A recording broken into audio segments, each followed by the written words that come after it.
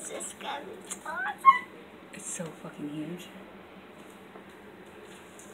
Oh, it's. Dude, you can't really tell how big it is till you look, like, pan back and see that that's a pie plate. April. Oh my god. Now we get the straw out of the way.